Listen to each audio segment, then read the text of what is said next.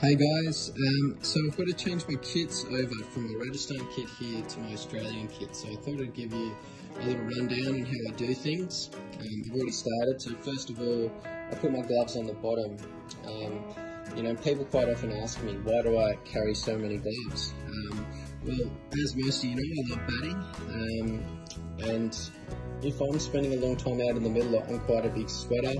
Um, and I don't like to have any excuses. So if I um, if I'm getting sweaty and the gloves are getting wet, I feel like I have to grip the bat harder, and um, you know I don't want to be doing that. I want to be able to play the way I want to play. So I carry lots so I can change regularly, and hopefully, um, yeah, hopefully I'll be able to be changing things regu uh, regularly coming up. I didn't, I didn't change as regularly as I'd like in the last little bit, so um, we'll see how we go. So that's the start uh, and then put my helmet into my bag over here.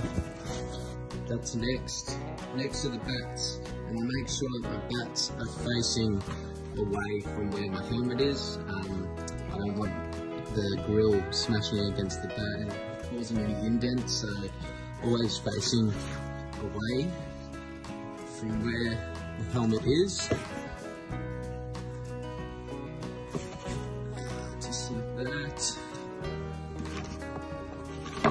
Next, we'll go the thigh pads. My thigh pads sit in here. Uh, works like that. Of course, my grips.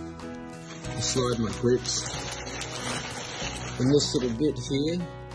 The grips are really important. I always carry loads of grips. Again, same reason if I, you know, if the grips are getting too worn and slippery, um, I don't want any excuses. I want the, the, grips to be as grippy as possible so I can hold the bat the way I want to hold the bat.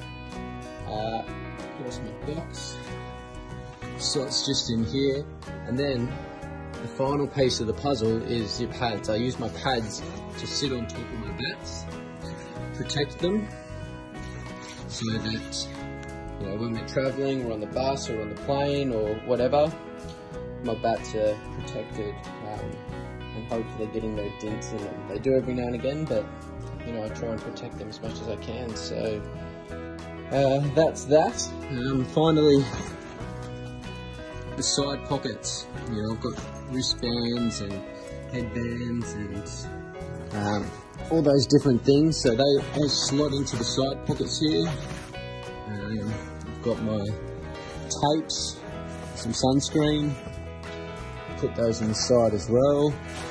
My tapes that I use to tape my socks up, as a lot of you know, I don't like seeing my shoelaces when I bat, so I put the, uh, the tape in there to, to tie my shoelaces up, and yeah, that's pretty much it. Uh, I've got my, sorry, one more thing, got my grip cone here. Uh, that'll go in the side pocket as well. Um, normally fits in these ones. Yeah, didn't fit in my Rajasthan one, so fits in the side there. Um, yeah,